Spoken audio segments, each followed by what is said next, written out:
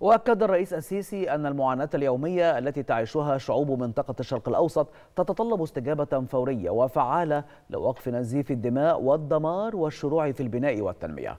وأضاف الرئيس السيسي أن مصر حريصة على تقديم كل سبل الدعم لأشقائها لوقف العنف وتخفيف حدة التحديات التداعيات الإنسانية والاقتصادية والاجتماعية المترتبه عليه.